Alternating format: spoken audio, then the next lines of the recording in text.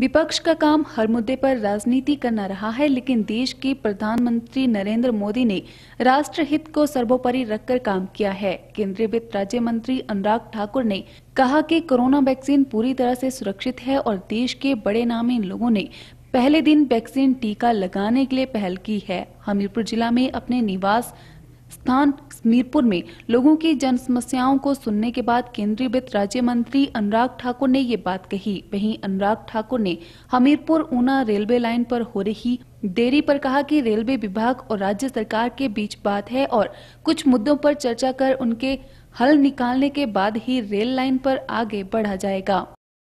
विभाग और प्रदेश सरकार के बीच की बात है। उसका केंद्र के बजट से डायरेक्टली कुछ लेना देना नहीं है। क्योंकि उसके लिए ज़मीन की होना, राज्य के शेयर का आना, ये कुछ मूलभूत बातें जब तक उस पर चर्चा नहीं होती, तब तक उस पर आगे बढ़ना संभव नहीं कोरोना वैक्सीन पर विपक्ष की टिप्पणियों पर अनुराग ठाकुर ने कहा कि कोरोना वैक्सीन पर कुछ लोग राजनीति कर रहे हैं, लेकिन पीएम मोदी के द्वारा लोगों को सुरक्षित करने के लिए कोरोना वैक्सीनेशन शुरू किया गया है। उन्होंने कहा कि पीएम मोदी का आभार जताना चाहिए क्योंकि दो दो वैक्सीन की प्रोडक्शन के साथ वैक्सीन अभियान भी शुरू कर दिया है, जिससे देश की करोड़ों जनता को राहत मिली है। देखिए, कुछ लोगों का काम राजनीति है, लेकिन मोदी जी ने राष्ट्र नीति को प्राथमिकता दी है। और यही कारण है कि देश भर के राज्यों को और लोगों को साथ में लेकर जब चले तो दुनिया भर में 138 करोड़ का देश ये भारत। यहाँ पर मृत्यु दर सबसे कम जिन देशों में उनमें से एक है।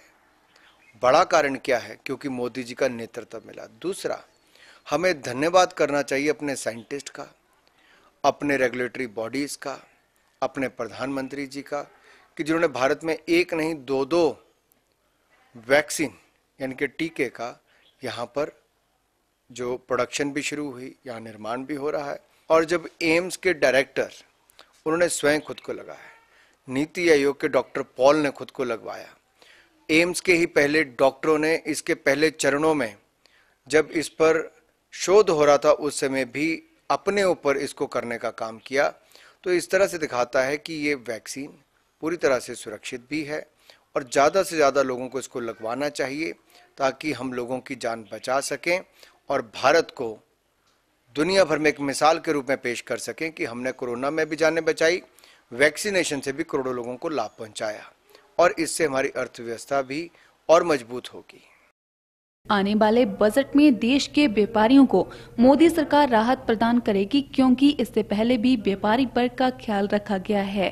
अनुराग ठाकुर ने कहा कि जीएसटी से लेकर टैक्स में सरकार ने व्यापारियों को लाभ दिया है और कोरोना महामारी के दौरान भी किश्तों को वापस करने के लिए अतिरिक्त समय दिया था। इसके अलावा दो तीन सालों से ब्याज दरें भी घटाई हैं, जो कि व्यापारियों के लिए बहुत ही बढ़िया रहा है। देखिए, देश के व्यापारियों को हमने महामारी के समय भी पहले तो मॉरिटोरियम पीरियड दिया कि छः छः महीने तक आपको अपनी किश्तें वापस ना करनी पड़े। आम आदमी को भी मॉरिटोरियम पीरियड दिया ताकि ब्याज का बोझ या मूलधन चुकाने का बोझ उन पर ना पड़े। इसके अलावा पिछले डेढ़ दो सालों में लगातार ब्याज दरें गिरी हैं जिससे कि उनको लाभ मिला है। अगर आप देखेंगे, घर खरीदने की, बनाने की नई तेज़ी आई है क्योंकि ब्याज दर कम हुई और लोग अपना घर भी बनाना चाहते हैं। अब जीएसटी कलेक्शन में देखेंगे तो तीन महीने लगातार एक लाख करोड़ से ज़्यादा उसमें पैसा इकट्ठा हुआ। ये अपने आप दिखाता है कि अर्थव्यवस्था तेज़ी के साथ वापस पटरी पर आ रही है। क्यों? क्योंकि इससे पहले तीन लाख करोड़ रुपया हमने देश के व्यापारियों को, छोटे और बड़े, उन सबको 20 परसेंट एडिशनल वर्किंग कैपिटल के रूप में दिया। इससे उनको लाभ मिला कि पैसे की कमी नहीं आई। हमने इनकम टैक्स में टीडीएस और टीसीएस जो हमारे, इसको 25 परसेंट कम किया ताकि लोगों के हाथों में पैसा ज़्यादा जाए। दो लाख करोड़ के लगभग हमने लोगों को इनकम टैक्स का रिफंड वापस किया, जिससे लोगों के हाथों में पैसा ज़्यादा है। और यही कारण है कि व्यापारी को दिक्कत कम आई। आई ज़रूर, लेकिन कम आई। लेकिन उसका लाभ ये मिला कि उनके व्यापार भी चले, बंद नहीं हुए, और ज़्यादा रोज़गार भी मिलने शुरू हुए।